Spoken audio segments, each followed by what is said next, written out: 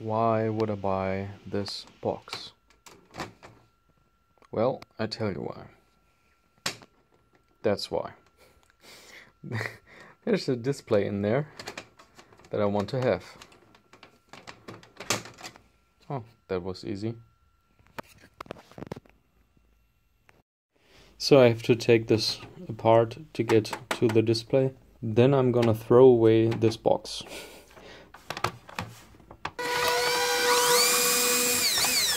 Yeah. Let's try this one again.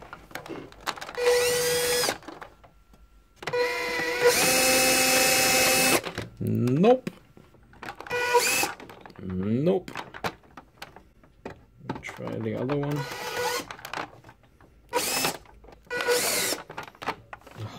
Okay, this is seriously annoying.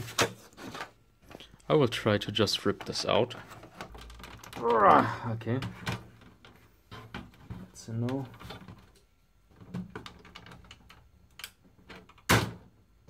Yay! It's a step in the right direction. That's the part of my desire. Shiny.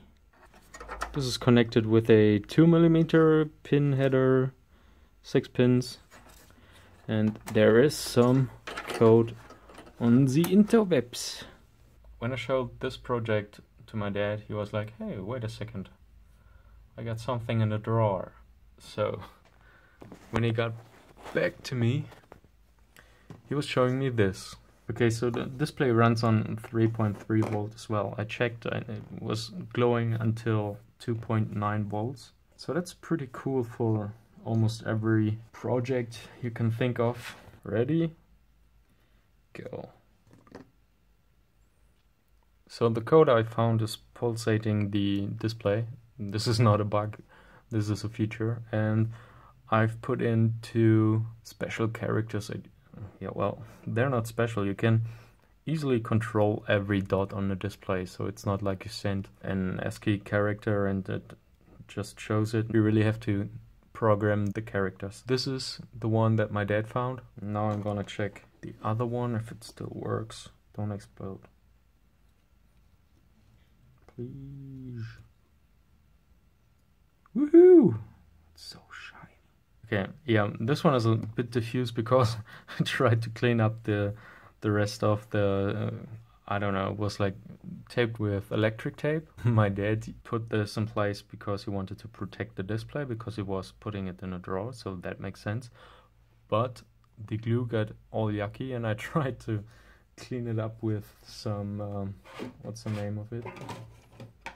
With some acetone, so Yeah, always check if your plastic melts when when it gets in contact with acetone because yeah, it really sucks if your all your display is like blurred out. This one, well, not this one, but the whole box was one euro on eBay or five euros shipping. So comparing this to the display from the project on Hackaday, the display new would be around 22 euros or so. So this cost me about 6 euros. This nothing. I will give this back to my dad. In comparison, it's like I bought a box for 7 euros where this display is in, and I could have paid 22. I get another box in one or two days, and I'm betting bidding on two or three others. Well, as soon as somebody sees it and thinks that makes sense to buy a whole box to get the display out of it for 7 euros. If you think there's anything else interesting in, in a D-Box 1, please let me know.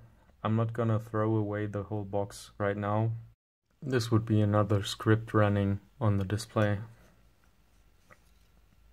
Thanks for watching and goodbye.